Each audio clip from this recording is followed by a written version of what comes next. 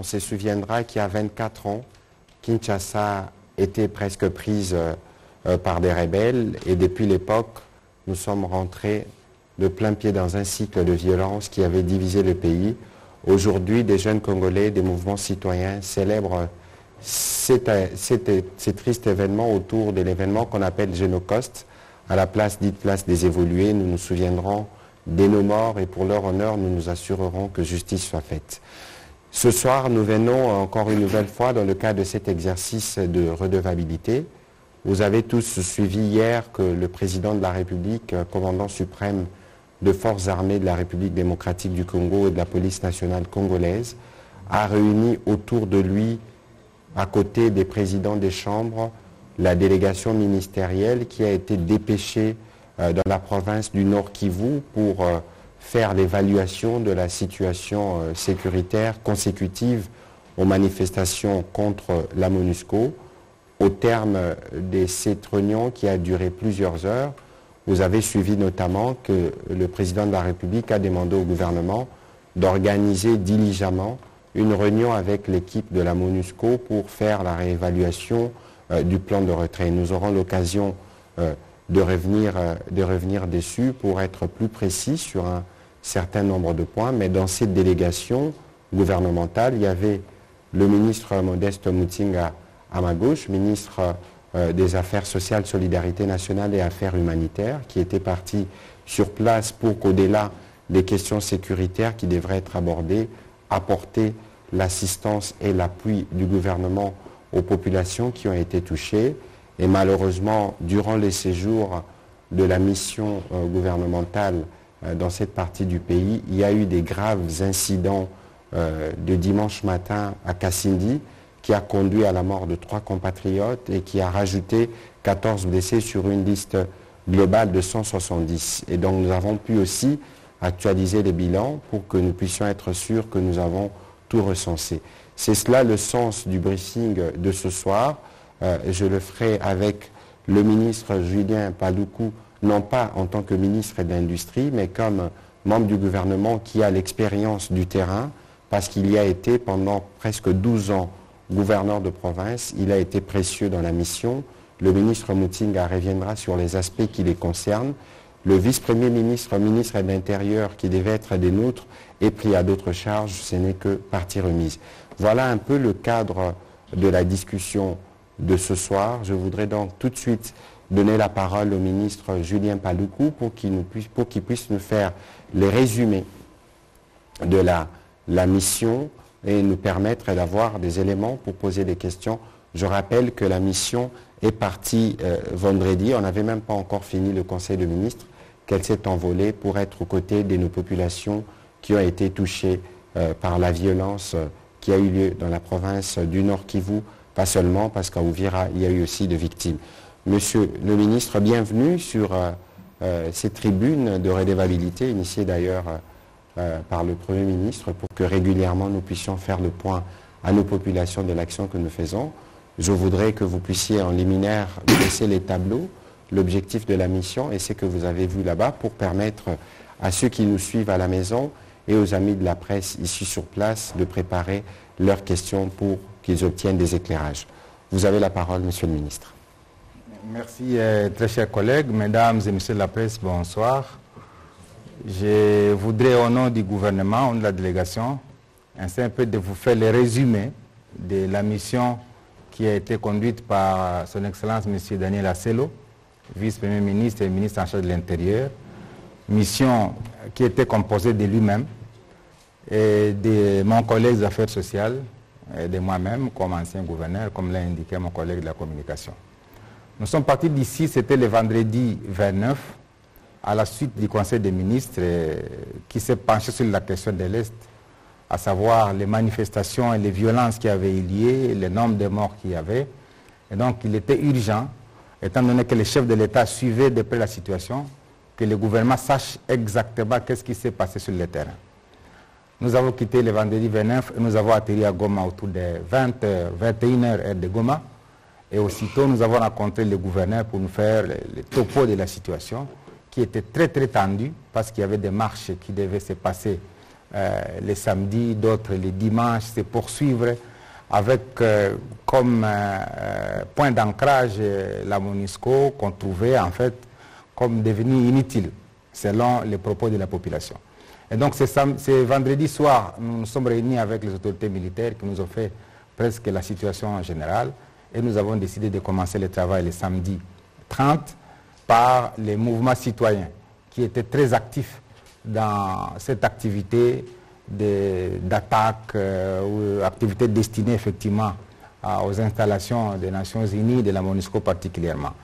Alors, au-delà des mouvements sociaux, mouvements citoyens, nous avons reçu la société civile, nous avons reçu les comités professionnels de sécurité, nous avons reçu les jeunes, nous avons reçu les femmes, nous avons reçu les députés provinciaux qui se sont exprimés à travers les six territoires de la province Nord Kivu et les trois villes. Euh, chaque composante chaque entité administrative a pu relever les éléments importants qui ont amené à ces violences-là.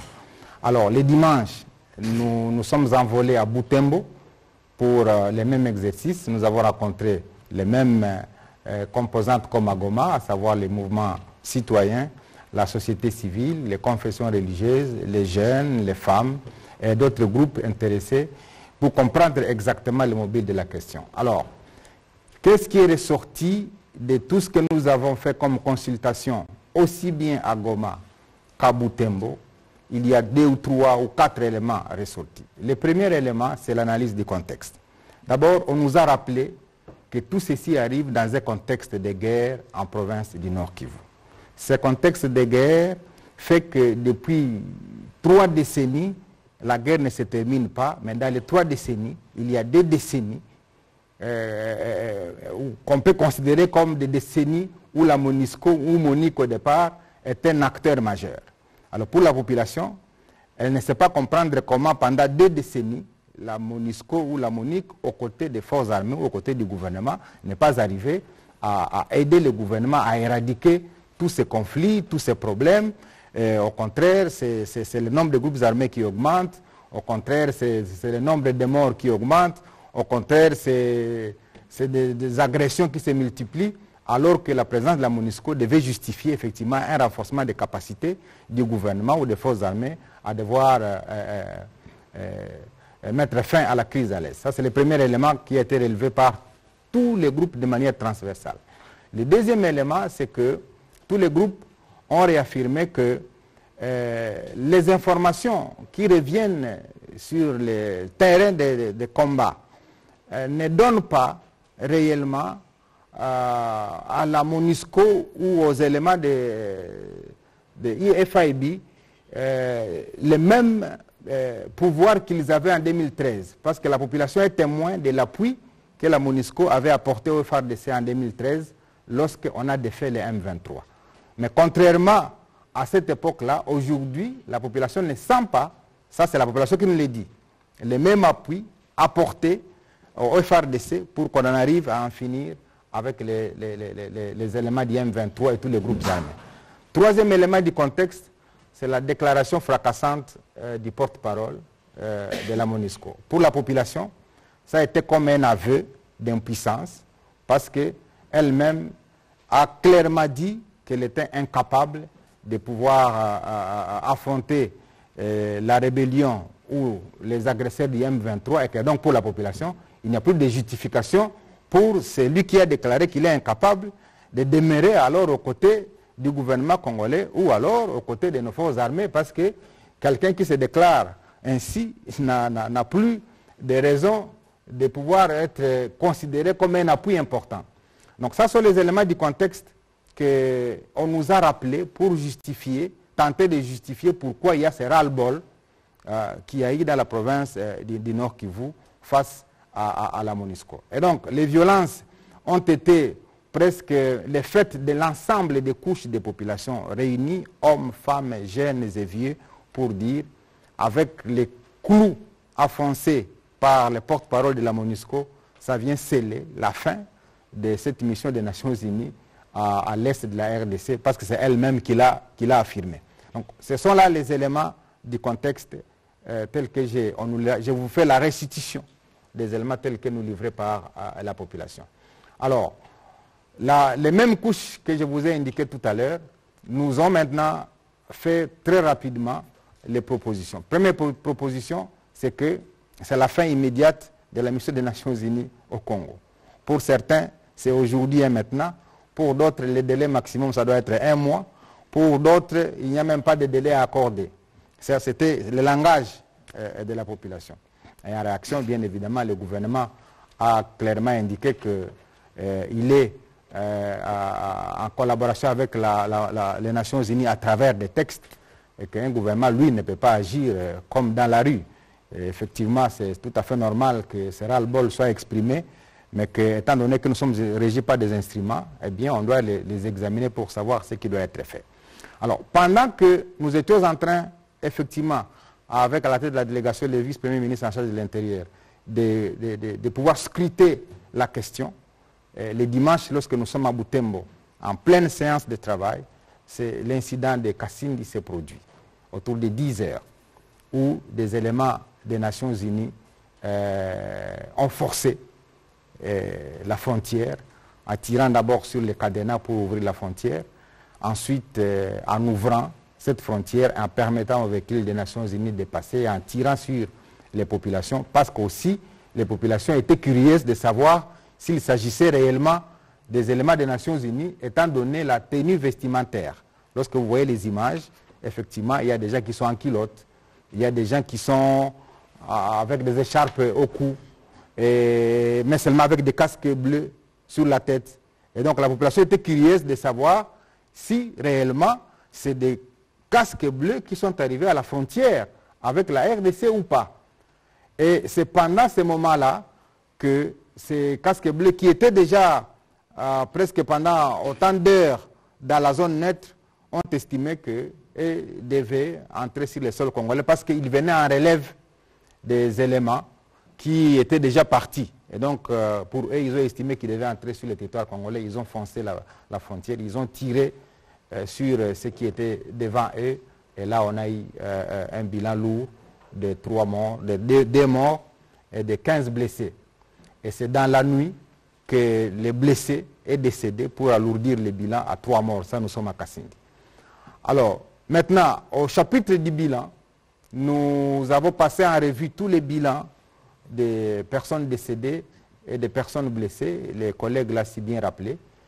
nous sommes autour de 36 personnes qui sont décédées, dont 13 à Goma, 13 à Butembo, dont 4 euh, casques bleus, 3 à Kanyabayonga, et 3 à Kassindi, et on a ajouté à ce bilan évidemment les, morts de Ouvira en province du, Sud Kivu. Alors voilà globalement la situation telle que nous l'avons euh, trouvée sur le terrain. Et aussitôt que nous avons terminé à Butembo euh, le dimanche, il y avait encore quelques réglages que nous devrions faire. Nous avons passé la nuit parce que la tension qu'il y avait à la suite de ces incidents graves qui se sont passés à Kassindi, euh, cette tension allait créer d'autres situations. il fallait donc rester sur place pour essayer un peu de continuer à calmer la situation pour rassurer la population que le gouvernement était en train de prendre en charge l'ensemble des questions et que ces actes-là ne, ne vont pas rester impunis. Et c'est aussitôt que nous avons reçu l'appel de devoir rejoindre Kinshasa pour venir donner rapport à son Excellence Monsieur le Président de la République. Nous avons quitté Boutembo, donc euh, euh, après la nuit de, dimanche, nous avons quitté Boutembo le lundi matin pour rejoindre Goma euh, avec un aspect humanitaire que le ministre, collègue des Affaires sociales, va développer. Après ces aspects humanitaires, nous sommes venus à Kinshasa faire la restitution au Président de la République. À côté de lui, il y avait le président des deux chambres, comme a dit les collègues, le ministre des Affaires étrangères, nous-mêmes, ici, le ministre de l'ESU euh, et le vice-premier ministre en charge de l'Intérieur. Et donc, on lui a fait les topos de la situation, comment ça s'est passé, les revendications de la population, le départ immédiat de la MONUSCO, la réaction des membres du gouvernement. Et à l'issue de la réunion, deux ou trois euh, éléments sont sortis de là. La première chose, c'est de condamner ces actes qui se, sont déroulés. Je vais vous donner les détails parce que le communiqué n'a pas tout dit. Euh, la, deuxième chose, c'était d'accélérer la commission d'enquête pour que réellement on établisse la responsabilité. Parce que jusqu'avant les incidents de Kassindi, il y avait encore à nuancer sur qui a tué à Goma et qui a tué à. Et donc, le chef de l'État a insisté pour que la commission d'enquête au niveau national d'abord fasse son travail, même si on va avoir besoin d'une commission d'enquête indépendante ou alors une commission d'enquête mixte. Mais en tant qu'État, nous avons besoin, à travers nos structures attitrées, c'est-à-dire l'auditorat, faire nos propres enquêtes et avoir les éléments sur lesquels nous pouvons nous appuyer pour dire voici ce qui s'est passé. Et donc à ce stade, on ne peut pas déjà dire que c'est elle qui a tué parce que nous ne sommes pas juges, mais au moins il y a des indices qui peuvent amener déjà à certifier qu'il y a telle catégorie déjà qui ont, qui ont été tués par telle autre catégorie déjà. Mais ce sont les enquêtes qui vont devoir euh, les, déterminer. Donc ça c'est le, premier élément de la, décision sortie de la réunion avec le président de la République. Le deuxième élément c'est que il a été constaté que la RDC a signé euh, a un accord avec la MONUSCO qui a déjà été évalué. Parce que dans la résolution 2556, il est clairement indiqué que le Conseil de sécurité a accepté la mise en place d'un cadre de travail entre la MONUSCO et le gouvernement congolais, élargi même à la société civile, pour qu'on examine la stratégie de retrait de la MONUSCO de la RDC. Et donc cette réunion d'hier a résolu de convoquer très rapidement ce cadre pour réévaluer effectivement ce plan de retrait de manière, cette fois-ci, et là je donne les détails, à raccourcir les délais qui avaient été initialement convenus. Parce que si les délais étaient de X temps, eh bien, le délai qui va être rediscuté va être de X moins 1 ou moins 2 ou moins 3. C'est selon que on va se convenir sur euh, la manière dont le délai sera fixé pour répondre aux attentes de la population, mais également pour rencontrer la déclaration du porte-parole de la MONUSCO qui lui-même a indiqué qu'on était en difficulté de devoir affronter les questions de sécurité.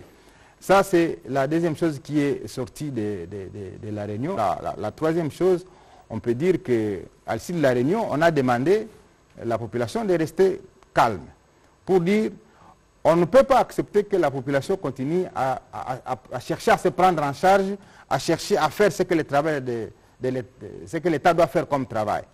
Le gouvernement est là pour la population. Le gouvernement a écouté la population, les cris de cœur de la population. Avec tous ces morts que nous avons connus, eh bien, le gouvernement ne va pas rester insensible. Le président de la République a été clair et il nous a tenu informés au cours de cette réunion d'hier qu'il a été appelé par le secrétaire général des Nations Unies, Guterres, pour dire vraiment qu'il présentait euh, toute sa compassion, mais également ses excuses pour tout ce qui s'est passé, mais qu'au-delà des excuses, il fallait qu'on se rassure que cette unité-là, qui a commis ces forfaits soit sanctionné conformément aux règles des Nations Unies.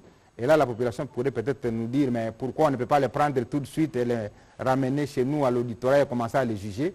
Eh bien, les règles des Nations Unies sont telles que ce n'est pas nos juridictions euh, qui, doivent les juger. Eh bien, ils vont être jugés par les Nations Unies et rapatriés dans leur pays pour purger leur peine.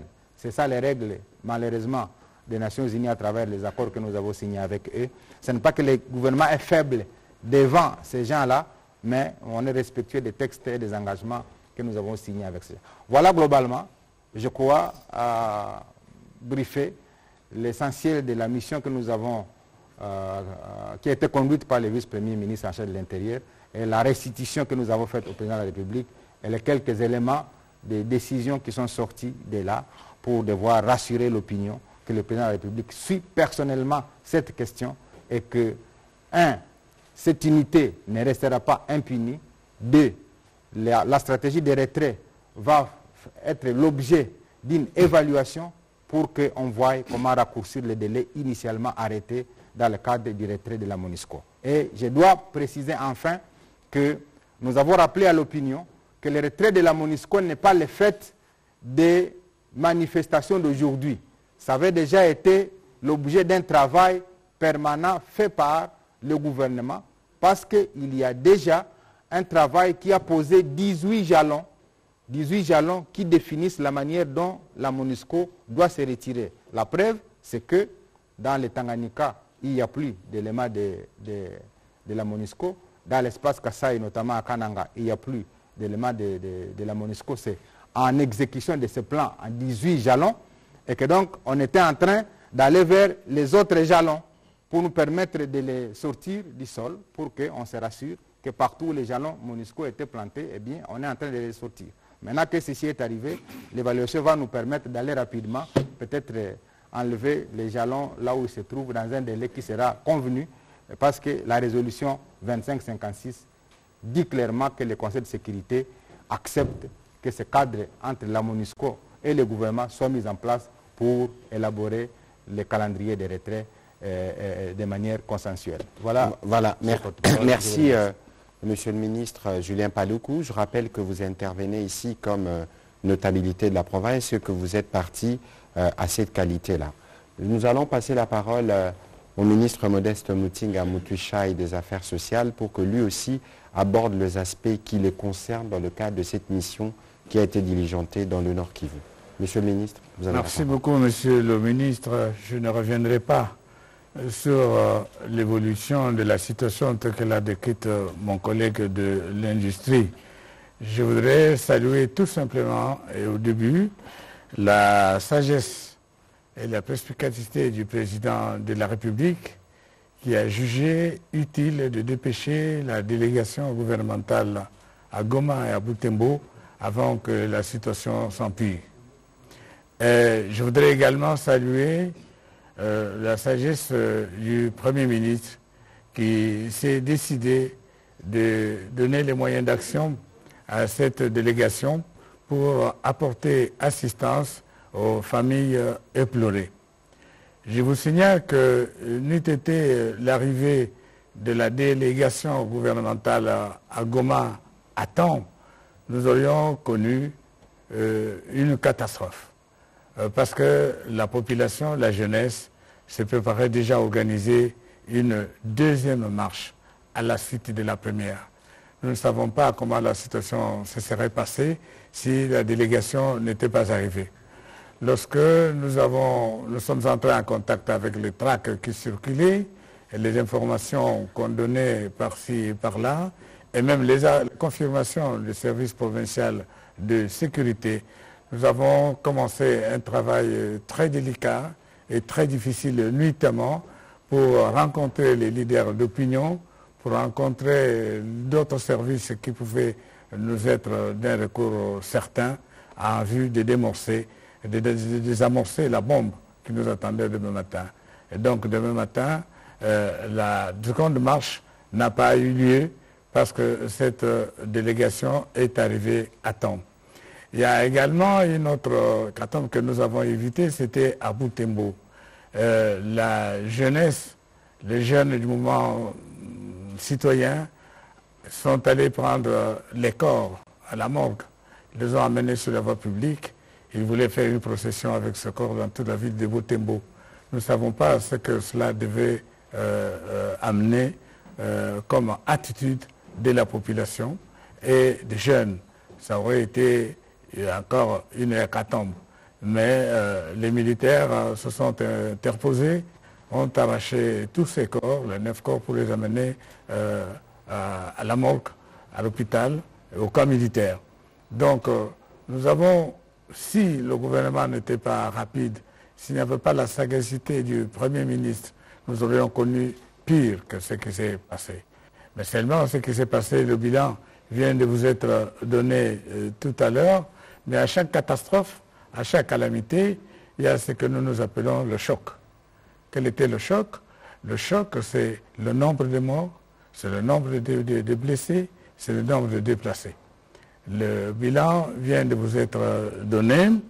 Le ministère euh, d'Action humanitaire était là pour examiner comment atténuer ce choc. Euh, la mission du président de la République du gouvernement d'apporter une assistance. Il y a une assistance pour euh, l'organisation des obsèques, une assistance pour aider les familles à organiser le deuil.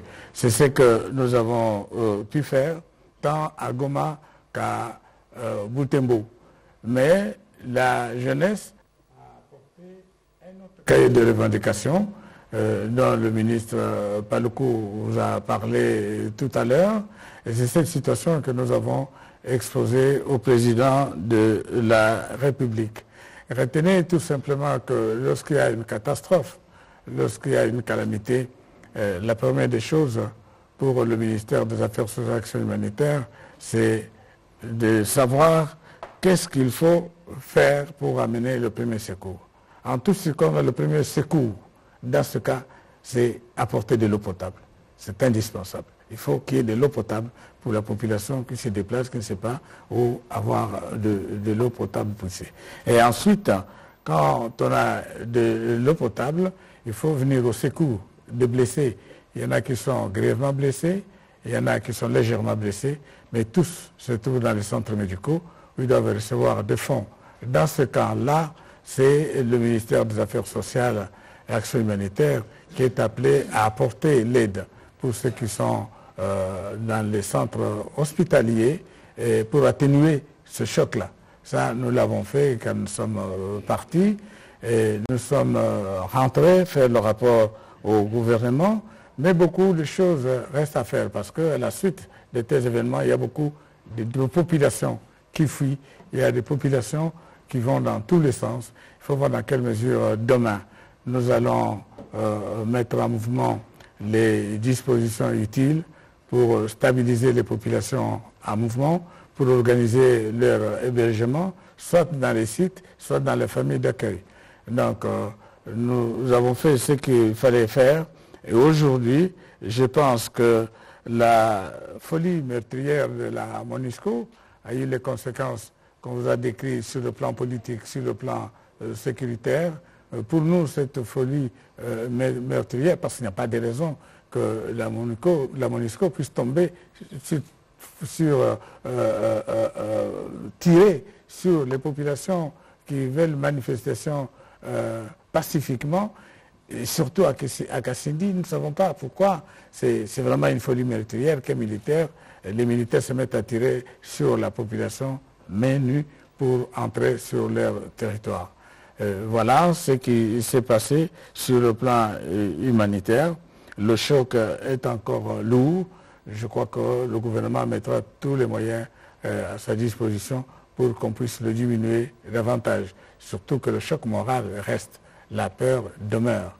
Nous allons avec le politique, avec la sécurité, essayer de voir dans quelle mesure ce choc peut être euh, diminué et comment redonner le sourire à la population de cette contrée, de cette contrée qui souffre depuis plus de 22 ans. Je vous remercie, M. le Président. Voilà, Monsieur le Ministre, euh, euh, merci pour vos mots introductifs. Nous avons planté les décors de nos échanges. Nous serons heureux de recevoir vos questions. Je souhaite que nous soyons un peu plus courts et précis. Nous avons à peu près 45 euh, minutes pour que nous puissions éclaircir euh, euh, les zones d'ombre. On va commencer par Pichu Mulumba et puis ce sera Richard Chaco.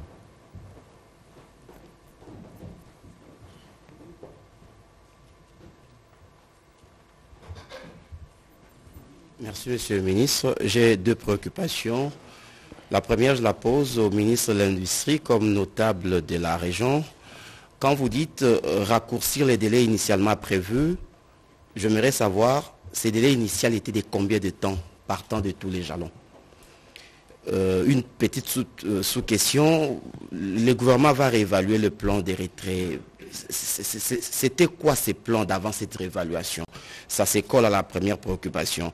Au ministre des Affaires sociales, l'on note que les affrontements armés sont restés évidemment la principale cause des besoins humanitaires et cela euh, s'aggrave ou aggrave les quotidiens précaires de personnes déplacées. Est-ce qu'aujourd'hui les gouvernements, au-delà euh, euh, de moyens qu'on alloue à votre ministère pour peut-être faire face au choc comme vous les décrivez, est-ce qu'il y a une politique assortie des moyens pour pouvoir répondre aux défis humanitaires qui se posent avec tout ce qu'il y a comme problématique des guerres ou des affrontements? Voilà, on va commencer par le ministre Paloukou. Oui, merci beaucoup, M. Pichou. Vous avez posé la question du délai. Effectivement, selon le calendrier initial, la MONUSCO, les dernières troupes de la MONUSCO devaient se retirer en 2024. C'est là le plan. Maintenant, avec tous ces événements qui se sont succédés, le chef de l'État, à l'issue de la réunion qui a été tenue hier, a estimé que le convoque très rapidement ce groupe de travail pour réévaluer effectivement ces calendriers à la suite de cette demande populaire pour voir quel est le délai qui soit à la fois intelligible, à la fois aussi compris par nos populations, parce qu'en tant que gouvernement, nous, on ne peut pas agir comme dans la rue. Nous, sommes, nous avons des engagements. Il ne faudrait pas que, euh, même s'il y a des problèmes, que d'un coup nous nous réveillons et que nous disions, bon, aujourd'hui c'est fini, le lendemain c'est la fin. Non, comme gouvernement, on s'assoit parce qu'il y a une résolution du Conseil de sécurité. Si vous lisez la résolution 2556, elle dit clairement ceci, le Conseil de sécurité approuve la stratégie commune des retraits progressifs et échelonnés. Ça, c'est la résolution. Elle est déjà prise. Donc, quand on dit retrait de la MONUSCO, ce n'est pas qu'on est en train de, forcer la MONUSCO à partir. Non, c'est le Conseil lui-même qui a déjà voté la résolution du retrait. Maintenant, comment le faire et quand le faire et pour quelle période, ça, c'est le groupe de travail qui va maintenant les, les définir. Et comme on allait jusqu'en 2024, pour le président de la République, avec ce qui s'est passé ici, on doit s'asseoir pour dire, eh bien, 2024 n'est plus le cap, on doit définir un nouveau cap. Et ici, ce n'est pas le lieu de vous dire quel est le cap qui sera défini parce qu'il faudra que ce soit le groupe de travail qui définisse. Parce que la même résolution dit la MONISCO, le gouvernement, en liaison même avec la société civile. Or, nous avons rencontré les couches de la société civile. Donc ce groupe de travail, au-delà du gouvernement et de la MONISCO, va associer la société civile pour définir les nouveaux délais raccourcis. Ça, c'est la volonté du gouvernement. Mais les raccourcis, c'est lesquels? Ce n'est pas à moi de répondre ici. Attendez que ce groupe de travail nous produise les résultats de son travail. Alors, donc voilà, je crois, je crois que j'ai répondu même à la sous-question. Le plan de retraite, c'était quoi? C'était celui-là. Donc, c'était défini, la manière dont progressivement on doit. La même résolution dit d'ailleurs ceci, que si vous lisez les points 49, 48, 49, 50, 51, la résolution parle du transfert des tâches de la MONUSCO au gouvernement. C'est-à-dire, ce plan-là euh, euh, définit comment les tâches que la MONUSCO exécutées doivent être transférées au gouvernement, selon les ministères qui sont concernés. S'il ne s'agit pas des ministères concernés, la même résolution définit le transfert des tâches de la MONUSCO à l'équipe des nations, au système des Nations Unies. Parce que même si les troupes de la MONUSCO quittent, ce n'est pas que le système des Nations Unies quitte. Il faut que les gens comprennent la différence. La différence, c'est que les agences du système des Nations Unies vont rester, c'est-à-dire les PNUD, l'OMS, etc. Alors, toutes les matières que la MONUSCO exécutait vont être transférées aux agences du système des Nations Unies qui, elles, sont pérennes dans tous les pays. Il y a les PNUD, il y a l'OMS, il y a OCHA, il y a etc. Donc, c'est ce plan-là qui va aider effectivement à définir ce transfert. Pour telle matière ici que la MONUSCO exécutée, quel est l'organe du système des Nations Unies qui doit les recevoir au terme du transfert? Donc voilà comment ce plan est exécuté et il faut que l'on s'en soit pour qu'on évalue tous ces, toute cette gymnastique-là de savoir comment le transfert s'est fait de ces différentes tâches que la MONUSCO a exécutées pour les ramener soit au gouvernement, soit au système des Nations Unies à travers les agences qui sont présentes ici depuis de longues années, avant même la MONUSCO. Alors ici, il faut rappeler, euh, et d'ailleurs je veux m'assurer qu'au terme de ces briefings, qu'on vous partage le plan de retrait, parce que c'est un document qui existe, et la résolution 2556, comme ça, nous pouvons être sûrs que nous disons les choses euh, euh, qui ont un même soubassement. Je dois rappeler que le mandat principal de casque bleu de la MONUSCO, c'est la protection des civils. On ne peut pas, dans un contexte où, au lendemain de manifestations graves qui ont eu lieu à Goma, où il y a des soupçons sérieux qui pèsent sur des casques bleus, notamment sur qui a tiré sur la foule, accepter que des casques bleus tirent à bout portant et des sang-froid sur les populations qui sont censées protéger. C'est la gravité de ce qui s'est passé qui fait qu'aujourd'hui, le président de la République, comme il est le président et qui porte la voix des Congolais, les Congolais qui se sont exprimés majoritairement ont demandé, le collègue Paloukou l'a dit tout à l'heure, les départs demain, les départs dans un mois. Donc nous, comme gouvernement, nous ne pouvons pas rester inaudibles à ce que, à ce que disent nos populations. Parce qu'il ne faudrait pas que demain, il y ait d'autres incidents dans un contexte où il n'y a plus de confiance. Alors ici, le président de la République nous a fait le privilège de faire la restitution de ses échanges avec le secrétaire général des Nations Unies, où il lui a dit clairement que aujourd'hui, la raison principale de toute cette situation, c'est l'agression rwandaise à travers le M23. La frustration congolaise vient de là. En ce que nous savons que la MONUSCO dispose des moyens militaires pour nous appuyer, les sorties médiatiques du porte-parole n'ont pas été des natures à dire que la MONUSCO les fera. Nous savons que la MONUSCO, qui est un organe représentatif du Conseil de sécurité des Nations Unies, peut user des voies diplomatiques pour régler la question. Aujourd'hui, tant que Bunagana sera occupé, ce sera difficile de baisser la tension au niveau de la population. Parce qu'il faut rappeler que ce soit le communiqué de Nairobi, que ce soit la feuille de route de Luanda et que ce soit la position d'elle-même du Conseil de sécurité du 1er juin 2022, tout demande le retrait des territoires occupés. Mais cela n'arrive pas. Ça veut dire que nous vivons dans un contexte de tension où il est important que nous, gouvernements, nous restions attentifs vis-à-vis des revendications de notre population, mais qu'en même temps, nous soyons dans un dialogue réaliste avec nos partenaires de la MONUSCO, parce que ce ne serait pas du tout bon qu'il y ait d'autres incidents de ce genre dans un contexte où la confiance n'existe plus entre la population et les casquettes bleues. C'est une confiance qu'il faut restaurer.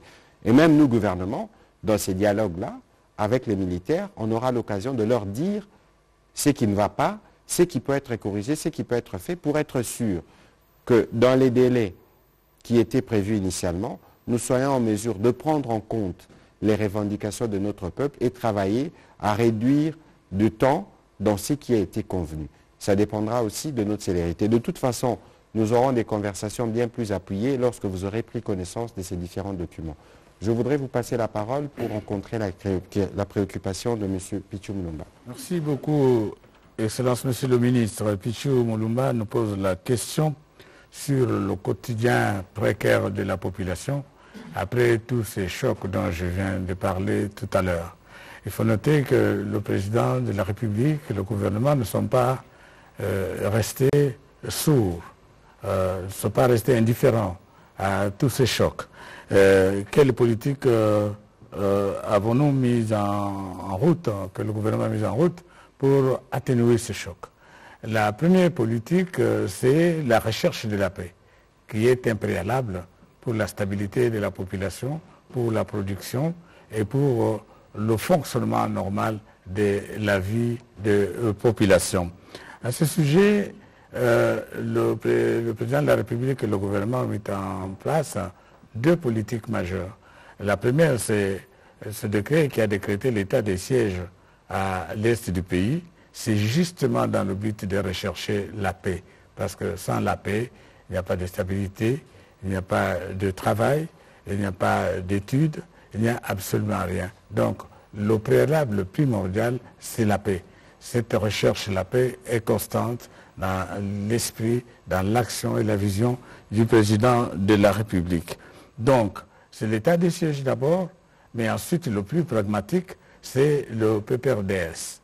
Donc, euh, la PDDRS. Donc, euh, démobilisation, euh, désarmement, réinsertion et stabilité. C'est cette politique qui doit contribuer à l'instauration de la paix pour nous permettre de nous occuper facilement du social de la population. Il y a ces politiques qui sont mises en route parce que d'une manière générale, nous enregistrons plus ou moins 5 euh, millions de déplacés dans la partie est de notre République, les déplacés internes. C'est tellement énorme.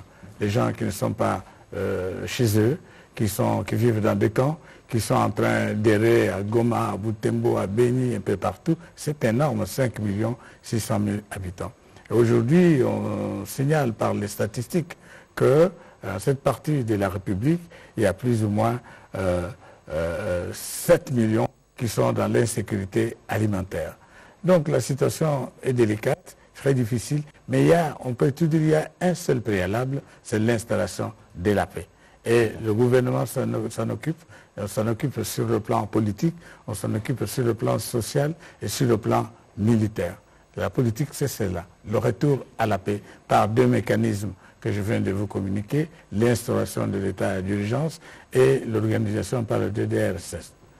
Voilà. Voilà, merci. On va prendre la prochaine question. Euh, Richard Chaco, puis ce sera Madame Amunazo. Merci beaucoup, Monsieur le ministre. Euh, de manière unanime, vous avez dit que la population ne veut plus de la présence de la MONUSCO euh, en RDC. vous, voulez encore de la MONUSCO? Bon, je ne peux pas répondre à ça. je, voulais savoir euh, quel est le palliatif ou l'alternative que le gouvernement compte mettre en place pour que le départ de la MONUSCO, qui est souhaité par tout le monde, ne soit pas une occasion pour l'embrasement de l'Est la RDC, surtout avec la multiplicité euh, des groupes armés. Euh, deuxième question, Monsieur le ministre euh, de la Communication, vous avez rappelé ici le 24e anniversaire de l'agression rwandaise. vous avez dit que ce sont les mouvements citoyens qui sont organisés pour commémorer cette date douloureuse. Euh, pourquoi le gouvernement aussi ne s'est pas associé ou n'a pas pris le, euh, devant pour organiser ça, au lieu de que sont les mouvements citoyens qui organisent que le gouvernement puisse euh, venir à, ce côté Merci. Alors, à votre deuxième question, mes collègues du gouvernement, la ministre de la Culture, le ministre des Droits humains sont sur la place des évolués, en train de participer à la cérémonie. Il y a un travail de mémoire nous devons faire de manière collective, on en a déjà parlé, et ce travail doit impliquer tout le monde, société civile. Euh, vous savez, dans la reconstruction d'un pays où faire avancer les pays n'est pas seulement l'apanage du gouvernement, nous pouvons soutenir les initiatives privées, comme nous faisons avec cette initiative portée par des mouvements citoyens. Globalement, en Conseil de ministres, nous avons eu le temps d'en discuter. Aujourd'hui, lorsque vous regardez euh, le Rwanda, la stratégie principale du Rwanda, repose sur la compassion qui a été exprimée à travers les génocides. Et nous, nous vivons, et c'est un diplomate qui me disait un jour, que sur le Congo, c'est comme si les gens s'étaient tous accordés de ne rien voir pour ne pas se sentir coupables. Parce qu'en réalité, c'est après les génocides rwandais que nous, on a commencé à connaître des génocides de tout genre, à la fois humains, à la fois économiques et tout le reste. Il y a des rapports qui l'attestent. Et donc, nous, aujourd'hui, nous pensons, et c'est pour ça que nous disons, nous avons un front militaire, un front diplomatique et un front judiciaire. Mais quand on nous par un front judiciaire, il faut que nous soyons en mesure de collecter suffisamment de preuves de ce qui se passe aujourd'hui. Il y en a pour ceux qui se sont passés hier, pour que pour ceux qui ont été coupables, Makobola, Kassika et toute la liste, non seulement qu'on soit en mesure d'honorer ces morts, mais qu'on soit en mesure d'identifier les coupables et les traquer, premièrement. On peut se souvenir aussi de la fameuse euh, guerre de triste mémoire de six jours qui, à Kisangani, a vu deux armées s'affronter en République démocratique du Congo. Aujourd'hui, nos jeunes doivent savoir d'où on est venu et c'est ce qui va permettre de façonner notre résilience collective et d'être sûr que demain, nous prendrons des dispositions pour que ces événements ne se répètent pas. Alors, départ de la MONUSCO, raison d'embrasement. Je ne pense pas parce que ça fait déjà 20, euh, depuis 1999, je pense, si ma mémoire est bonne, ça fait 23 euh, ans. Alors, 23 ans, vous avez euh, des enfants, 23 ans, vous êtes régulièrement, c'est comme si on était encore dans une forme de babysitting. C'est vrai que la communauté internationale, nous considérons, et à juste titre d'ailleurs, qu'elle est co-responsable du malheur du Congo. Parce que lorsqu'en 1994 on ouvre les frontières, la communauté internationale était derrière. Et c'est là le point de départ. Jusqu'aujourd'hui, les Rwandais prennent des prétextes sur des FDLR parfois imaginaires, ou souvent imaginaires, pour venir nous agresser. Et donc, aujourd'hui, nous, en tant que gouvernement, nous avons décidé, par exemple, d'adopter la loi de programmation militaire. Parce qu'aujourd'hui, la première condition, le premier jalon, pour ceux qui ont lu les documents, c'est d'être en mesure de restaurer la sécurité, de mettre fin au type de menace. Mais au-delà de ce que nous nous faisons militairement, il faut qu'on se souvienne de ce qui s'est passé à Nairobi, où il y avait un processus politique et un processus euh, militaire, qui était l'alternative pour ceux qui auront refusé. Mais regardez, quel est le groupe armé qui a refusé le processus politique? Le M23, les seuls.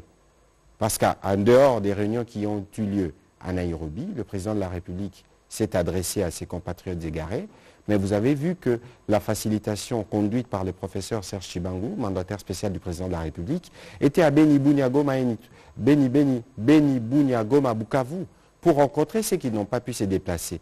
Le simple fait qu'ils quittent le maquis où se cachent pour venir rencontrer une délégation présidentielle signifie que tous sont disposés à aller vers la paix. C'est pour ça que le ministre Mouting a parlé tout à l'heure de la composante PDD-RCS pour être sûr que nous assurons les relèvements communautaires qu'il faut. Et donc, la MONUSCO, quoi qu'il en soit, ne peut pas rester indéfiniment en République démocratique du Congo. Et donc, et aujourd'hui, la confiance est rompue parce que les raisons pour lesquelles la MONUSCO devait être là ne se justifient pas lorsqu'elle s'est dit ou est-ce qu'elle se montre presque incapable d'agir efficacement pour régler les problèmes. Donc, nous, on peut encore avoir la retenue dans la manière de discuter, mais nos populations de qui nous détenons le pouvoir disent non. Alors, il ne faudrait pas que demain, dans l'hypothèse où il y a un ou deux incidents, personne n'aurait cru qu'il y aurait ces incidents à la frontière, que cela ne soit encore, n'expose encore à des choses plus graves. Mais ici, les Congolais doivent se rassurer que, que ce soit pour le président de la République et pour le gouvernement, nous mettons tout en place. C'est pour ça que nous avons lancé, par exemple, un appel au recrutement pour nos jeunes qui veulent venir dans l'armée dans les services, ils doivent venir. C'est eux qui seront en mesure de défendre l'intégrité territoriale. Voilà. Merci. Vous avez un petit complément? Je vais, commenter effectivement cette question. Il y a deux éléments importants. Le premier élément, c'est que on ne peut pas continuellement être dans une mentalité d'assister et croire qu'on peut se développer.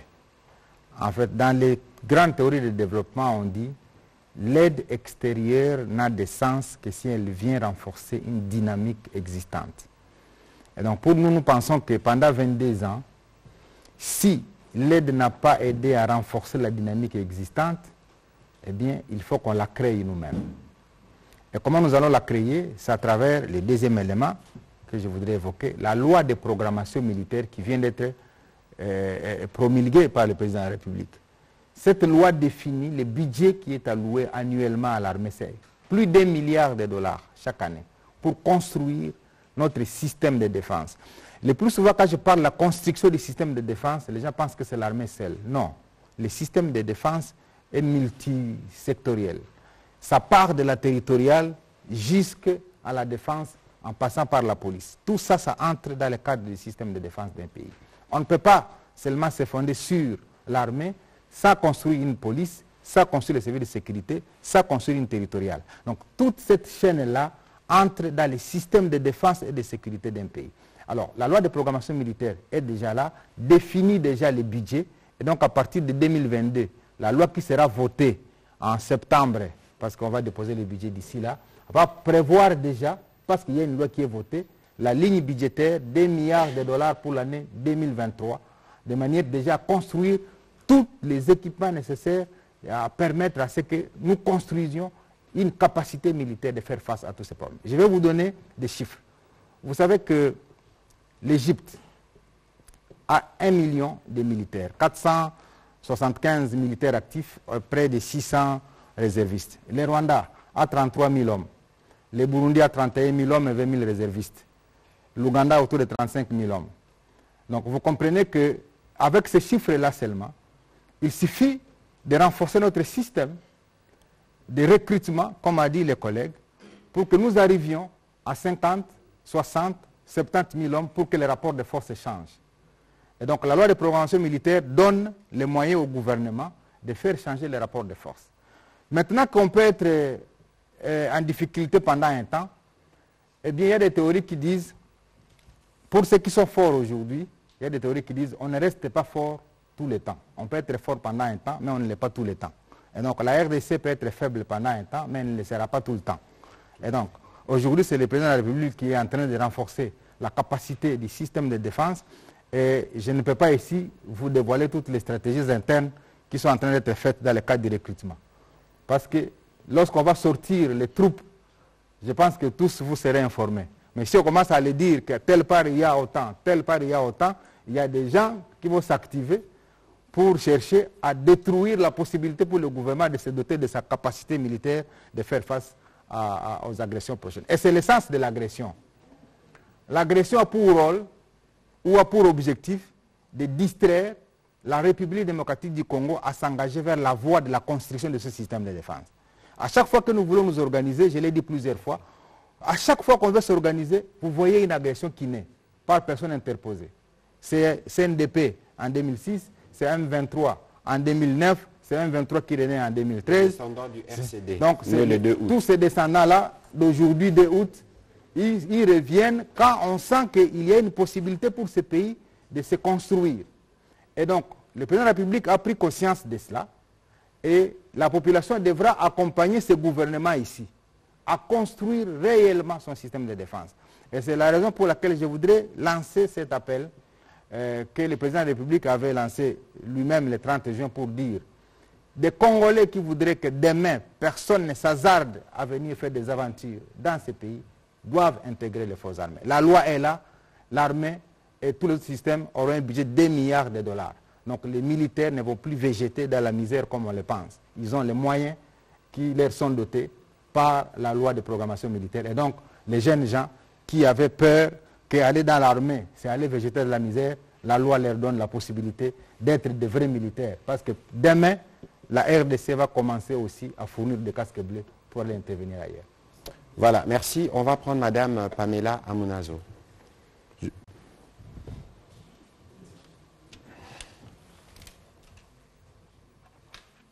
Merci beaucoup, Monsieur le ministre. Je vais commencer par euh, Monsieur Julien Paloukou. À vous entendre parler, on a l'impression que la position du gouvernement est claire. La MONUSCO doit partir. Est-ce que la RDC aujourd'hui, sur base de votre expérience, parce que vous avez géré cette partie de la RDC, est en mesure de maintenir la paix ou maintenir la situation actuelle dans cette partie de la RDC N'avez-vous pas peur de pouvoir vous retrouver aujourd'hui avec une population qui va vous réclamer la même chose, avoir à dos cette population qui vous demande de partir parce que vous n'aurez pas amené cette paix. À Monsieur le porte-parole, vous aviez communiqué sur ce qui s'est passé à Kassindi et également euh, la MONUSCO, mais personne n'a donné la nation, ou les nationalités, on va dire, de ces casques bleus. Est-ce que c'est par stratégie, par sécurité? Si oui, si oui, pourquoi? Et deuxièmement, la RDC, en étant un État souverain... Excusez-moi. État souverain, est-ce que la RDC, au lieu de passer par la MONUSCO pour pouvoir répondre à ces casques bleus puisqu'ils étaient en vacances, s'adresser directement au pays d'origine et trouver des solutions pour que cela ne se répète pas? Bon, écoutez, euh, ah, vous avez encore une, une dernière question au ministre du Tourisme, euh, des Affaires sociales, qui a parlé de, de du soutien que vous avez apporté à la population qui a été victime et meurtrie et tout. Euh, vous avez parlé d'un choc que vous avez dû euh, pallier. À quelle hauteur exactement? Quel montant vous avez apporté à cette population? Voilà, merci beaucoup. Alors, euh, il y a toujours cette polémique qui revient sur le chiffre, mais bon, le ministre, elle le dira mieux que moi, mais le gouvernement est toujours présent dans la mesure des ressources que nous avons. Alors, pourquoi on n'a pas dit euh, la nationalité du... Regardez le contexte dans lequel nous sommes. Il ne faudrait pas, en voulant communiquer, donner les prétextes, parce qu'il est évident qu'il y a des manipulateurs qui gravitent autour de ces événements, qui ne sont peut-être pas l'un de nos agresseurs. Et donc, il y a un incident qui s'est produit, il y a des mécanismes lorsqu'il s'agit des casques bleus. C'est dans la Convention. Et donc ces casques bleus sont arrivés en République démocratique du Congo par la MONUSCO, par les Nations Unies. Autant les Nations Unies parlent avec les pays d'origine de ces casques bleus, autant nous aussi, les canaux diplomatiques existent. Euh, et d'ailleurs, le chef de l'État devrait s'entretenir avec euh, euh, le chef d'État du pays du contingent concerné pour être en mesure de nous assurer qui soit sévèrement sanctionné, parce qu'être casque bleu ne vous excuse pas à procéder de cette manière. Mais ici, il faut bien comprendre la stratégie du gouvernement. Nous voulons baisser la tension. Nous voulons arriver à l'apaisement parce que lorsque nous restons dans une situation de tension, c'est évident que vous ouvrez des portes à des manipulations qui peuvent être beaucoup plus dangereuses. Et donc, de ce point de vue, nous n'avons pas voulu qu'il y ait euh, non pas que nous n'avons pas un souci de transparence, le moment venu on les dira, mais on n'a pas voulu que cela ne serve de prétexte à ceux qui peuvent s'en prendre à des paisibles citoyens originaires de ce pays-là. Et donc voilà un peu le sens de la question. Je veux passer la parole au ministre de la Solidarité et on finira par le ministre Paloukou. Merci beaucoup, euh, Monsieur le ministre. Je voudrais d'abord reprendre une partie de la question qui a été posée à mon collègue euh, Paloukou pour savoir qu'après la MONUSCO, est-ce que la population ne va pas se retourner contre nous pour demander la même chose? Euh, À ce sujet, à l'occasion de ces incidents graves, à l'occasion de cette barbarie, barbarie de la MONUSCO, il s'est réveillé, euh, il s'est constaté réveil de conscience la population congolaise. Aucun Congolais du sud, du nord, de l'est n'accepte ce qui s'est passé. Il y a une sorte de, réveil. Et tout le monde euh, euh, n'accepte pas qu'un seul centimètre de notre République soit occupé. Cette conscience qui s'est révélée euh, une fondation de notre nation, de notre unité, doit être entretenue par les médias et par les institutions. Nous devons nous atteler à cela. C'est une arme redoutable qui peut nous permettre de résister contre les assauts de la MONUSCO. On l'a constaté, parce que si on avait laissé la population continuer, elle aurait causé beaucoup plus de dégâts. C'est une force extraordinaire que nous devons entretenir et continuer à mettre à l'avant de notre action. À propos de euh, euh, l'assistance que nous avons apportée à la population, nous n'avons pas l'intention de faire la publicité autour des morts. Nous sommes euh, dignes et nous avons l'humilité que pour pouvoir nous permettre à déclarer les chiffres parce que nous avons enregistré autant de morts. Nous avons fait en sorte que les victimes connaissent euh, les funérailles dignes de, leur nom et dignes de la République, nous avons fait en sorte que les familles soient soulagées dans leur douleur. Voilà. Monsieur le ministre de l'Industrie. Oui. Ici, je voudrais, parlant de la question liée à la nationalité, rappeler que les troupes qui arrivent au Congo n'y arrivent pas au nom de leur pays. Ils y arrivent, elles y arrivent comme Nations Unies. Donc ça, c'est la précision de taille. Et donc, quand le gouvernement doit s'adresser aux Nations Unies, il s'adresse aux Nations Unies avec les troupes qui sont identifiées comme Nations Unies. C'est aux Nations Unies qui est allé recruter de savoir ces éléments-là qu'il est allé recruter, il est allé les recruter où? Parce que le gouvernement n'entre pas dans les détails des recrutements des éléments qui viennent nous aider dans le cadre de la MONUSCO. Donc nous, nous nous adressons à la MONUSCO pour dire vos éléments ont commis un forfait. On ne peut pas, à ce stade, commencer à aller voir ils sont d'où. C'est à eux de dire ces éléments-là, nous, nous les avions tirés des X lieux. À ce moment-là, nous saurons. Donc ils vont nous les dire dans les séances de travail que nous allons avoir avec, euh, eux. Maintenant, vous nous dites nous voulons maintenir la paix parce que nous n'avons pas peur qu'à la sortie des éléments de la MONUSCO, rien n'est... Non. Ici, je voudrais apporter notre précision. Lorsqu'on parle du retrait de la MONUSCO, il faut que l'opinion et la MONUSCO elle-même sachent que on ne veut pas énerver quiconque.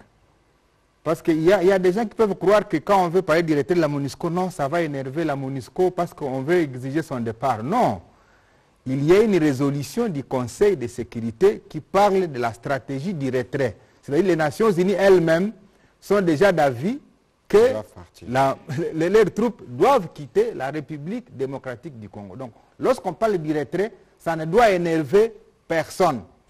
Mais néanmoins, ça peut énerver les individus. Parce que les Nations Unies étant une personne morale, elle a à l'intérieur d'elle-même des individus.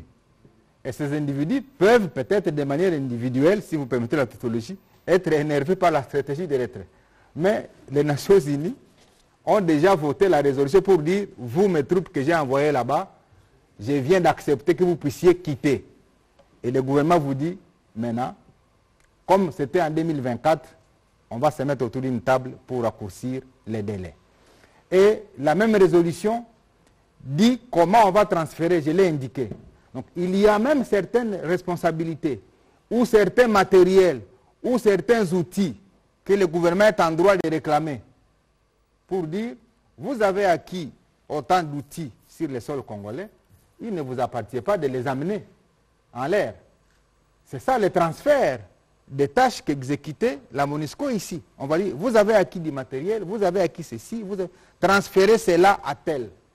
Et donc il y aura une série de transferts qui seront faits au niveau des agences, au niveau du gouvernement. Et nous, en interne, on est en train de nous préparer effectivement pour que la sortie de la MONUSCO ne constitue pas un chaos pour que demain, ceux qui seront partis puissent se justifier en disant, voilà, ils nous ont demandé de partir, voilà ce qui est arrivé. Je dois conclure par dire, tous les pays du monde n'ont pas eu des missions des Nations Unies pour exister. Donc on ne doit pas croire que lorsque la mission des Nations Unies sortira de la RDC, ça sera la fin de la République démocratique du Congo. Elle est arrivée en 1999. La RDC existait, ou si vous voulez, les Aïrs. J'étais là. Donc les Aïrs n'ont jamais disparu. Entre le départ de la mission de 61 et l'arrivée de la mission de 99. Donc on ne peut pas tout de suite affirmer que lorsqu'elle va partir, ce sera la catastrophe, ce sera le chaos. Au contraire, ça doit nous, en tant que gouvernement, nous amener à définir des stratégies robustes pour dire il ne faudrait pas qu'on donne raison à ceux qui sont partis. Parce qu'aussitôt partis, si des choses s'enlisent, effectivement, ils vont apparaître aux yeux du monde qu'il n'y avait rien. Donc ça, il, il revient à nous, gouvernement, effectivement, d'avoir ça comme défi, d'avoir ça comme challenge. Et c'est pourquoi le président de la République a sollicité de ne plus attendre la session de septembre pour faire passer la loi sur la programmation militaire. Elle est maintenant publiée sous forme d'ordonnance loi. C'est-à-dire, on a sollicité l'habilitation au niveau du Parlement pour que le président promulgue la loi sous forme d'ordonnance loi. Parce qu'en attendant la session de septembre, on ne sait pas si c'est une session budgétaire, si elle pouvait être adoptée.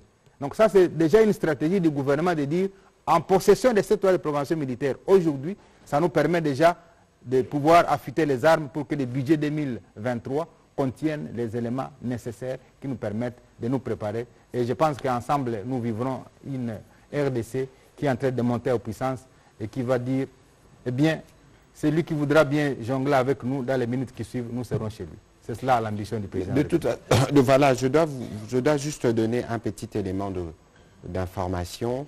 Si vous avez bien lu le communiqué que euh, j'ai signé dimanche, nous avions dit que ces contingents, ceux qui sont impliqués dans cet incident, ne feront plus partie des éléments de la MONUSCO.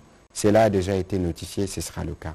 On va prendre euh, trois dernières questions parce qu'il faut gérer les temps. Il y en aura deux à la fin en Lingala et une en Swahili pour permettre euh, aux compatriotes qui nous suivent au Nord Kivu. Alors, on va prendre euh, en face de moi, mon ami de l'avenir, on va prendre Benoît. Stéphane, vous avez posé la question la dernière fois. Tite Lyongi, Marlon Kachamou, Élisée Odia. Vous allez poser une question, s'il vous plaît, comme ça vous permettez aux autres de poser. On va prendre une série, parce qu'il ne faudrait pas qu'on prenne l'habitude de dépasser l'heure de 20 heures. On prend la série en une fois et puis nous allons y répondre. Avancez déjà. Merci, Excellence, pour la parole. Euh, ma petite question, euh, c'est par rapport à ce que vous avez dit, que parmi les casques bleus, nous avons vu les images, il y en avait qui avaient porté des képis Monisco, mais avec des kilotes.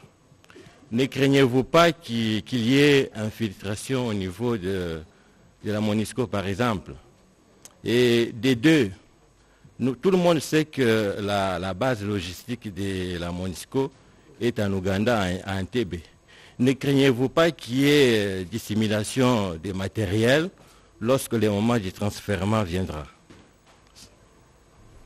Voilà, prochaine question. J'ai une question pour le ministre des Affaires euh, sociales et une question qui était destinée au ministre de l'Intérieur. Malheureusement, il n'est pas là. Je vais la poser quand même. Euh, ministre, monsieur le ministre, est-ce qu'aujourd'hui, est-ce qu'on peut avoir une idée, parce que vous ne voulez pas citer le chiffre, est-ce qu'on peut avoir une idée sur le montant déboursé sur le depuis la résurgence de M23. Vous dites il n'y a pas de chiffres, mais vous dites une idée. J'aurais une idée. Depuis la résurgence d'un 23, le gouvernement a déjà déboursé combien pour assister le déplacé? Et, ministre de l'Industrie, étant que ancien gouverneur de, de Nord Kivu, vous faites partie, vous étiez dans cette délégation, vous maîtrisez bien la situation sécuritaire à l'Est. Qu'est-ce qui échappe aux, Congolais? Qu'est-ce qui échappe au gouvernement pour mettre fin à cette histoire de, de, l'an 23 Merci. Marlon Kachamou. Euh, monsieur le ministre Paloukou, euh, c'est un bon casting hein, euh, que le président a fait de vous renvoyer sur les terrains que vous maîtrisez très bien. Alors, je vous pose la question de savoir, depuis la MONUC jusqu'aujourd'hui, MONUSCO, qu'est-ce qui a changé de manière concrète? Quelle est la démarcation? Une petite question au ministre de la Communication et Médias. Monsieur le ministre de la Communication et Médias, nous étions l'autre fois ici avec M. Kassim Diani. Il a il a dit que la MONUSCO ne tuait pas. Pourquoi vous ne l'avez pas associé à ces briefings pour qu'il puisse s'expliquer devant nous? Merci. Merci, euh, Tite Lungi. Stéphane, vous pouvez avancer parce qu'apparemment on pose une question, donc on aura le temps de l'enregistrer. Euh, J'ai une petite préoccupation, Monsieur le ministre Julien Paloukou. En tant qu'ancien gouverneur, vous avez sûrement eu le temps de voir l'évolution de tout ce qui s'est passé à l'est de la République démocratique du Congo. Le gouvernement aujourd'hui prend l'initiative d'accélérer le retrait de la MONUSCO en République démocratique du Congo. Je ne sais pas. En utilisant cette traction qu'on appelle le principe de souveraineté, est-ce que vous avez déjà en évidence un cas pareil dans un pays, par exemple, où on a fait appel à la mission des Nations Unies et que les résultats ne semblent pas être satisfaisants. Et puis, on utilise un raccourci pour permettre au gouvernement qui veut aujourd'hui amener la population à croire qui est également la population est d'accord avec le gouvernement. Est-ce que vous avez un cas pareil qui doit faire asseoir la démarche gouvernementale? Merci. Merci, Monsieur le Ministre. Nous avons vu récemment le, ministre des ITPR être dépêché en Ouganda, pour parler de tout sauf des routes. Le ministre des Lessus, dans une radio, la radio Top Congo, a aujourd'hui parlé de tout sauf de l'enseignement supérieur et universitaire. Vous êtes allé, vous êtes un habitué de ce coin, vous y allez pour parler de tout sauf de l'industrie. Est-ce qu'on peut dire qu'il y a cette approche ethnico-tribale dans le chef de l'exécutif pour essayer de résoudre les tensions sporadiques ou pas dans cette partie du pays, parce que souvent, on associe les personnalités issues de ce coin-là pour communiquer quand il y a un problème. Et, rapidement, vous parlez de l'organisation de l'armée. Est-ce qu'il faut attendre la réorganisation de l'armée congolaise pour récupérer Bunagana ou on doit juste compter sur la bonne foi du Rwanda pour demander au M23 de se retirer? Finalement, c'est tout le monde. Monsieur le porte-parole du gouvernement, que va faire Kinshasa si jamais les résultats euh, de l'enquête diligentée après les récentes échauffourées démontraient clairement que les contingents onusiens ont tiré sur les civils. Au ministre des Affaires sociales, le gouvernement a-t-il prévu d'indemniser les victimes? Si oui, c'est combien par exemple, à part le fait de prendre en charge les funérailles? Monsieur Julien Palouk, vous êtes un notable du coin. Trois questions à vous-même. Excusez-moi. des cinq après vous. On va arrêter la série des questions. S'il vous plaît, permettez, euh, permettez aux autres de poser, s'il vous plaît. Merci de m'accorder la parole. Cédric Béat, pour le compte de dépêche.cd. Euh, vous parlez de la réévaluation du plan du retrait de la MONUSCO Oui. Raccourcir les délais Oui. Et si aujourd'hui la, la MONUSCO décide de s'en aller avant 2023, est-ce que le gouvernement est capable d'assurer à l'opinion qu'il y aura élection 2023. Puisque souvent, quand il y a élection, nous recourons à sa logistique. Ok. Ma question, ma question s'adresse au ministre des Affaires dire sociales. Votre nom, s'il vous plaît, madame? Fallon Mubungu, RTNC2. Ma question s'adresse au ministre des Affaires sociales. Euh, euh, la délégation gouvernementale est allée au chevet de victimes. Alors, euh, nous aimerions, j'aimerais savoir, y a-t-il un mécanisme du côté gouvernement congolais pouvant pousser les Nations Unies à indemniser les familles éplorées? Parce que du côté gouvernement congolais, comme je viens de dire tout à l'heure, il y a eu euh, une délégation qui, est allée au chevet de, victimes. Et la deuxième question s'adresse euh, au ministre de la Communication. Dans le récent briefing, vous avez dit que les enquêtes étaient en cours. Nous pourrions savoir où en êtes-vous avec ces enquêtes. Merci. C'est question Nassis Moutombo de R.CD. Ce sera la dernière question en français. On reprend à cette série et on prendra les deux dernières questions en langue pour être sûr qu'on ne se perde pas. Puisqu'aujourd'hui, euh, toute la RDC est unanime quant, à, quant au départ justement de la MONUSCO, moi, ma, ma question est de savoir, le départ de la MONUSCO va-t-il laisser la voie libre à la force régionale? Ok, on va commencer par cette dernière question. Euh, voie libre à la force régionale, il faut regarder la MONUSCO agit suivant un mandat. La force régionale aura un, mandat précis donc il ne faut pas, faut pas lier, euh, lier, les deux. Alors je voudrais euh, donner la parole au ministre Paloukou avec cinq minutes. J'espère que vous pourrez ramasser toutes les préoccupations.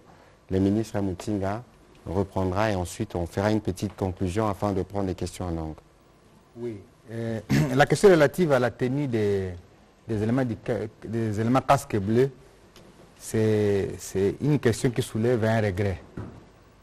Parce qu'il est quand même anormal que des éléments qui sont dans un contingent des Nations Unies entrent sur le sol d'un territoire pour lequel ils viennent faire la relève comme force de maintien de la paix dans des tenues aussi délabrées comme on les a vus tous. Donc, euh, et c'est cela d'ailleurs qui avait suscité l'attention de la population à Kassindi, parce que c'était des tenues presque apparentées à celles qu'on voit auprès des EDF. Et donc la population était en train de s'interroger si ce n'était pas une infiltration des EDF à travers la frontière ougandaise. Et cette curiosité-là de venir à la frontière, qui a été considérée comme une résistance de la part de ces forces-là, qui ont tiré immédiatement sur les populations. Donc, c'est regrettable, effectivement. Je crois que les Nations Unies qui nous suivent euh, devront euh, communiquer à toutes leurs forces que lorsqu'on entre sur le territoire d'un pays comme force de maintien de la paix, on doit être correctement habillé dans les tenues des Nations Unies pour qu'on ne soit pas confondu aux bandits. parce que tout ce qui est arrivé, c'est aussi suite à cette confusion-là entretenue par euh, des tenues vestimentaires. C'est impensable que quelqu'un qui vient dans une mission où il doit être respecté viennent en kilote. quand vous voyez la photo, il est en kilote avec euh, souliers rouges, euh, basket et sur la tête un casque bleu. La technique peut balancer la photo, Jessie C'est impensable. Et donc je crois que euh, quand j'ai posé des questions à, nos, à, nos, frères à l'intérieur de la MONUSCO, ils sont embarrassés.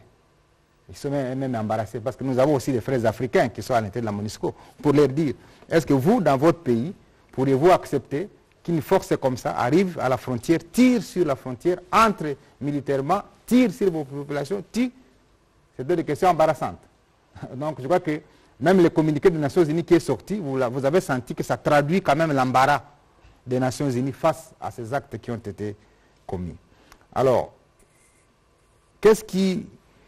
Est-ce qu'il n'y aura pas une dissimulation, comme la base est à Entebbe, évidemment? Tout ce qui s'est produit à Kassindi, doit susciter une attention particulière du gouvernement congolais pour que désormais les entrées des forces en République du Congo soient soumises à un arrangement qui permette de savoir exactement qu'est-ce qui entre. Parce que même les conteneurs qui entrent, on devra savoir aujourd'hui s'il y a des conteneurs qui entrent avec des armes aujourd'hui dans le cas de la MONUSCO, ces armes, c'est réellement pour venir faire quoi?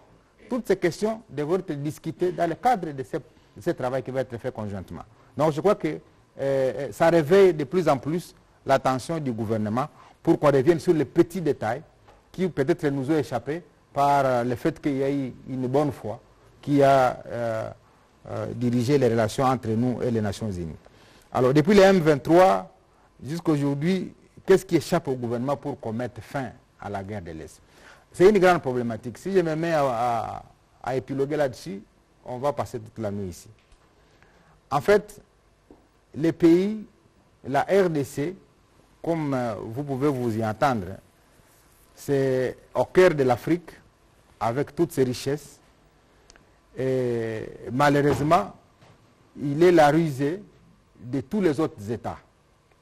Et lorsque nous prendrons conscience de cela, et la conscience est en train déjà de naître totalement, je pense que nous allons arriver à trouver des réponses précises à la question d'insécurité chez nous. Parce que la guerre telle qu'elle est menée, je l'ai dit dans un des médias ici, la guerre de Bunagana a commencé lorsque nous voulions commencer la route entre Bunagana, Ruchuru et Goma, route asphaltée. Lorsque nous allions commencer la route Beni, Kassindi, Beni, Butembo. Ce sont des, des corridors de développement qui devaient ouvrir la RDC à l'océan Indien. Et la guerre a commencé par là. Comprenne qui pourra. Cet espace-là, de Bunagana à Ruchuru, en arrivant à Goma, s'il est, est désenclavé, c'est les, bastions des gorilles des montagnes. Donc si cet espace est désenclavé, ça attire tout le tourisme mondial.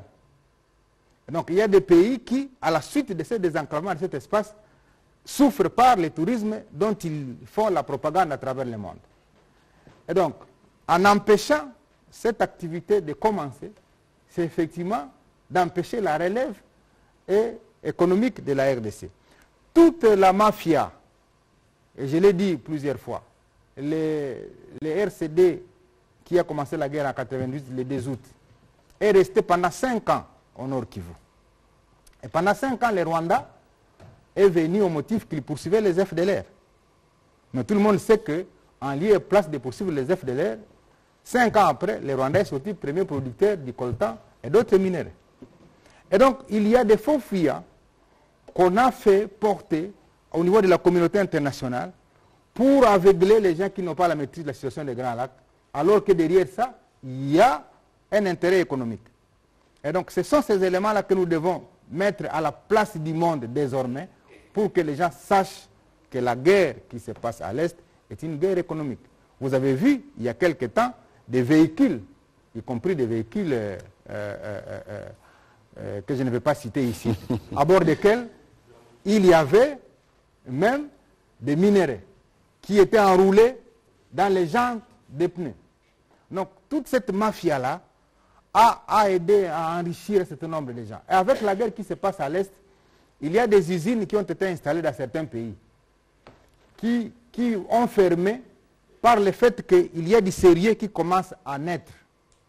Maintenant, qu'est-ce qu'il faut? Il faut créer un climat de trouble pour que les sérieux qui commençaient à s'installer cessent et que les trafics mafieux reprennent pour alimenter les usines qui ont été installées dans certains pays. Ça, ce sont des questions pour lesquelles je n'ai pas peur de devoir me prononcer pour avoir dirigé pendant 12 ans la province Nord Kivu avec des éléments que je détiens euh, euh, de par euh, ma fonction que j'ai occupée. Donc, c'est tout cet environnement-là qui doit être compris par d'abord les Congolais. Parce que quand vous êtes à Kinshasa, au Congo central, à l'Équateur, on a une autre compréhension de ce qui se passe à l'Est. Et j'ai souvent entendu les gens dire non, ça, ce sont des histoires d'entrée là-bas. Je crois que ma manière de communiquer ici est aussi pédagogique pour permettre aux gens qui ne sont pas de cette partie de comprendre que cette question nous concerne tous. Elle n'est pas une question des gens de l'Est ou de Boutembo ou de Lubero ou de Rutshuru. Elle nous concerne comme Congolais parce que le complot est tellement grand que si nous ne prenons pas conscience, effectivement, on ne peut pas s'empêcher de voir demain des choses en train d'éclater. Parce qu'il y a des discours qui se font au niveau international pour dire la RDC est un grand ensemble qui ne sait pas se gérer. Et que donc, il faudrait que la RDC soit réduite dans des petits ensembles qui sont facilement gérables. Ces discours-là sont de nature, effectivement, à nous amener vers un plan. Un plan qui est ourdi par ceux qui instrumentalisent le climat d'instabilité, d'insécurité, parce que l'important, ce n'est même pas de savoir l'agresseur. On peut même attaquer l'agresseur aujourd'hui, mais moi je pense l'important c'est de savoir l'agresseur lui aussi, il agit sous quel chapeau.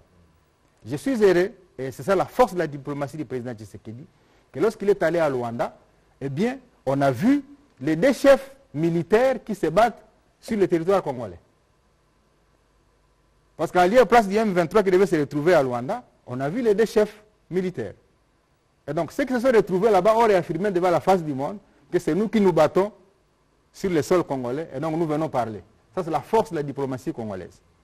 Et donc, je pense qu'on est en train de gagner petit à petit et il faudrait que le peuple congolais accompagne son gouvernement pour qu'on en arrive à extirper tous ces éléments-là qui nous ont échappé depuis un certain nombre d'États. Et je crois que si la conscience est collective, nous allons arriver à bouter dehors. Et la résistance populaire telle que vous la voyez aujourd'hui, à travers toute la République, c'est ce qui fait hésiter les réseaux qui pensent qu'il faut subdiviser les pays en petits ensembles. Parce qu'on sent que les Congolais de l'Est, de l'Ouest, du Centre et de partout ailleurs est tellement unis qu'il ne veut pas qu'un seul centimètre soit cédé à quelqu'un d'autre. Il y a des déplacés aujourd'hui qui sont en Ouganda, mais qui ne veulent même pas rentrer à Bunagana, parce qu'elles ne veulent pas être sous la coupe des agresseurs. Elles préfèrent rester sans manger en Ouganda comme réfugiés que d'aller être sous la coupe de ces agresseurs-là. Vous, vous, voyez les degrés de patriotisme qu'il y a. Donc on doit l'accompagner ensemble. Alors, vous avez dit, ben, est-ce qu'il y a un cas similaire où on a, on, a, on a eu ce genre de situation? Bon, Je peux citer, il y a des pays qui ont fait ce genre de... Il y a l'Angola qui a fait ça. Il y a d'autres pays qui ont fait ça, où les Nations, les Nations Unies sont arrivées à terme de leur mandat. On a dit, ben, bien messieurs, euh, c'est le temps de partir. Est-ce que c'est pour autant que l'Angola n'est pas une puissance militaire aujourd'hui? Vous savez, quand vous cessez d'avoir une mentalité d'assister, ça vous permet de créer des mécanismes de devoir vous protéger vous-même. Tant que nous croirons que la MONUSCO va nous accompagner parce que nous sommes faibles, nous allons retarder notre capacité de nous organiser. Il faut que l'on sente qu'il y a un vide pour que nous nourrissions les ambitions de combler ces vides. Et c'est ça le travail du gouvernement. On, va, permettre au ministre, euh, je pense, au ministre Moutinga de répondre et vous reviendrez en Swahili dans quelques minutes pour euh, la conclusion de, Merci de votre beaucoup. intervention. Euh, il m'a été posé la question de savoir quel serait euh, un mécanisme pour l'État congolais d'indemniser les victimes des différents chocs quand je viens de parler tout à l'heure. Vous savez, au cours de ces différents chocs, il y a eu de nombreuses écoles détruites, les centres de santé détruits. Il y a surtout le choc moral qui est incommensurable, pour les victimes des atrocités de, euh, de rebelles et autres terroristes, sans oublier les chocs subis à travers le comportement euh, dangereux de la MONUSCO. Qu'est-ce que le gouvernement a comme mécanisme pour euh, indemniser Je vous ai dit, le choc moral est incommensurable. Mais le gouvernement de la République a pris autant de dispositions pour aider tant soit peu les populations victimes. Il y a l'assistance urgente qu'amène le gouvernement qui consiste en vivre et à non vivre en hébergement et autres accessoires. Ça, c'est l'urgence. Pour, à la longue, qu'est-ce que le gouvernement fait pour euh, aider ces populations? Nous avons d'abord euh, eu euh, la gratuité de l'enseignement, parce que partout où est passé à l'est du pays, les écoles ont été détruites. Il y a des enfants qui sont nés il y a 10 ans, 15 ans, qui ne savent pas aller à l'école l'État a décidé de la gratuité de l'enseignement de base. C'est une intervention sociale importante. L'État a décidé également de la couverture de santé euh, universelle. Ça a déjà commencé ici à Kinshasa avec les maternités. Ça va se poursuivre partout à l'intérieur du pays. Le gouvernement est à pied d'œuvre pour réaliser le programme de 145 territoires il y a du social là-dedans. Tout cela va contribuer à l'allègement du choc subi par euh, les euh, populations. Il y a aussi euh, cette politique gouvernementale d'aider les victimes à relever leur niveau socio-économique à travers l'entrepreneuriat des jeunes, l'entrepreneuriat des femmes, mais aussi la politique de crédit qui a été améliorée. Le social étant transversal, toutes ces actions gouvernementales tendent à alléger les chocs dont je viens de vous parler tout à l'heure. Voilà, euh, avant qu'on prenne les deux questions, un petit commentaire sur le propos de Madame, euh, Madame Élisée Odia. Madame, c'est quand même assez dangereux d'aller sur des considérations de ce type parce que le ministre Alexis Guissaro s'est rendu en Ouganda parce qu'avec les Ougandais, euh, nous étions en juin dernier dans la suite du président de la République où on a signé des accords notamment pour la construction des infrastructures. C'est une société ougandaise qui construit euh, la route euh, de Bunagana et je pense euh, la route de Beni Kassindi telle que l'a exprimé les gouverneurs tout à l'heure et que c'est de ces faits qu'il a été envoyé comme c'est l'interlocuteur technique. Et si nous avons recouru à Julien Palouk, il ne faut pas oublier que les nominations au niveau du gouvernement ne se font pas seulement pour de besoins notamment d'expertise, mais il y a aussi ce que nous apportons comme background. Et Julien Palouko a une expérience euh, euh, avérée sur la gestion de ces questions dans la province du Nord Kivu. On ne pouvait pas s'en passer simplement parce qu'il est originaire de la région. De toute façon, dans la philosophie du gouvernement, on se regarde tous comme Congolais parce que ce qui se passe, c'est une question qui nous concerne nous tous. On va prendre une question en Swahili pour le ministre Paluku et une question à Lingala à laquelle je répondrai très rapidement pour conclure ces briefings. Allez-y. Gilbert Fundi, editorial uh, State.net. Uh, wahudumu Julien Paluku, ninaulizo kwako. Vijana ya muji mkuu Goma walionyesha huzuni lao kupitia mambo ya MONUSCO. Viongozi wengi ya Kivu mkuu amkukuwa nao pamoja. Sasa leo unaweza kuwaambia nini vijana ya muji mkuu, vijana wote ya Kivu kupitia mambo yanapitikana na MONUSCO? Ok. La question à Lingala. Hatukuwa na vijana, hatukukuwa na viongozi viongozi wengi amkukuwa nao pamoja. Sasa leo hapa huko huko hapa hapa RTNC unaweza kuwaambia nini vijana wote ya mji mkuu uh, Kivu? Ok, on prend la question Lingala. Comme ça, on va répondre une fois pour toutes. matondi mingi ntoma uh, patrick muyaya uh, bai congo démocratique balingi koyeba na bunagana bai mboka oyo balongwe kuna bazali motango boni eboniboni baoyo balongwe bakimi bitumba bazali kobika ndenge nini mpona ministre affaires sociales est ce que gouvernement ya république démocratique du congo ezali kopesa bango makoki oyo elongobani mpona kovivre malamu? E baoyo batikali na kati ya bunagana oyo bazali uh, uh, entouré par barebelle bazali kovivre boni boni voilà Voilà. Ah, Monsieur le ministre. Eh, asante sana kwa swali lako. Tunapenda tuelezee wakaji wote wa Nord Kivu, yaani Goma, Butembo, Beni, Lubero, Masisi, Walikale na sehemu zote Nyiragongo, ya kwamba mkubwa wa nchi Felix Tshisekedi aliweza kututuma hapo ili tuende tuwasikilize kufatana na machafuko ambayo ilikuwa ikitokea pale. Si rahisi kuweza kukutana na watu wote kwa, kwa ujumla, lakini tuliweza tukakutana na wale ambao walikuwa tayari, yaani vijana fulani fulani, watu wa societe civile na wakuu wa makanisa, ili tuweze kupata hali vile ilivyo, na tunajua ya kwamba uh, wakati tulikuwa tunazungumza na wao walisema ni vipi kweli mna uhakika ya kwamba mkubwa wa nchi ataweza kupata ripoti ambayo tumewaelezea.